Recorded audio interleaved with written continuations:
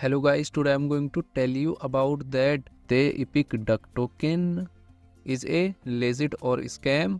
Now before we start the video let's share my legal disclaimer. None of the information given in this video shouldn't be taken as a financial advice. Please make your investment according to your own research. Firstly you will open this token on CoinMarketCap and here you will check public comment like bullish and bearish comment. Now here you can check every comments in detail related to scam and copy this address.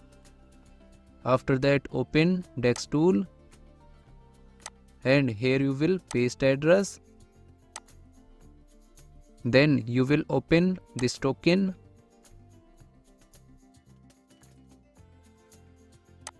so here you will check community trust. And you can see audit scan. Now here you can check buying and selling transaction detail. After that go to CoinMarketCap and click on market section. Now here you will check that this token is available or not on popular exchanges like Binance, Coinbase, KuCoin, Crypto.com, Huobi, Gate.io, Bybit, OKX and MEXC exchange. After that click on this contract address.